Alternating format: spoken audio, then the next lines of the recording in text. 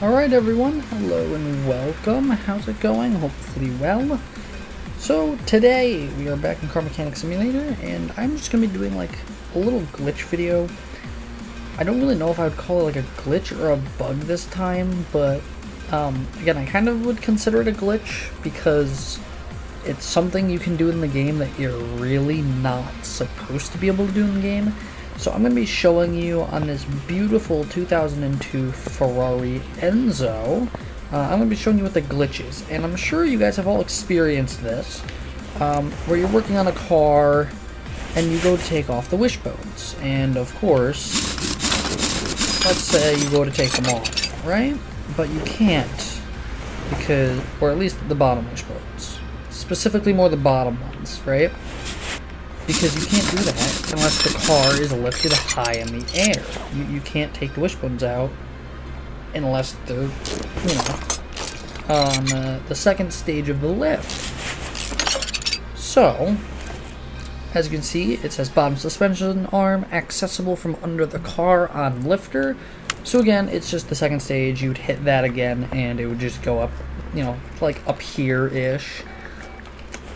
But I found, again, a, a, little bug or glitch in the game, if you will, that, again, really isn't... It, you're really not supposed to be able to do this, so again, that's why I'm kind of calling it a glitch. Yeah, it's not like a money glitch or anything, of course, um, but... And actually, I think this also works on, like, Xbox, PlayStation, PC, it doesn't matter what platform you're on, it works on all platforms. And basically, again, like you have, of course, bottom suspension arm. It, I, I'm holding A. It's not doing anything, right? Because again, you have to be under the lifter. But from what I've seen, if you don't do this, but instead go over to the bearing or the bushing, you can actually hold A on that and still take off your bottom little uh, suspension. So again, this works on PlayStation, works on Xbox, works on PC, as I'm on. It doesn't matter what platform you're on. This little glitch works perfectly fine. I wanted that. And as you can tell, it's the same way with the opposite. You can't put it on, as you can see, unless you're under the car. But, if you go over to the bushing, you can then put on the suspension arm with the bushings. So again, it's it's the same thing, just um, you know, you go for the bushings really. So let's go ahead and do the rear. So put in the bushing, bump suspension arm goes right in. Put in your shock absorber, and bam, just like that. All now you need are tires.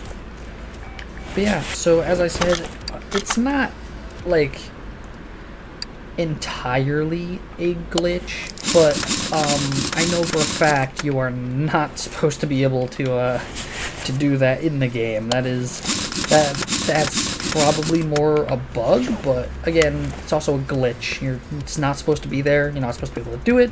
So I do consider it a glitch. So hopefully you all enjoyed. That's all I have for you guys today. Uh, hopefully you're all excited for the next video. Uh, it is going to be the Koenigsegg 121 rebuild, and I'm excited to work on that. Um, I do apologize about my um, upload schedule. Again, it's probably going to be once every like week or two weeks, um, mainly because of college and everything, uh, work, all that. Um, it's going to be hard to find time to edit, so I'll probably do editing here and there. Uh, but I do stream regularly. I do stream daily over on Twitch, more towards the night, but I do stream because I don't have to edit. I can just stream and go. There is no editing, so it works really well. Um, but yeah, I hope to see you guys all in the next video. Stay safe out there. Everything's kind of getting bad in the world, or at least in the U.S. Everything's kind of getting worse, so please stay safe. Um, just everyone out there. Stay safe out there. I'll see you guys all in the next video. See you later.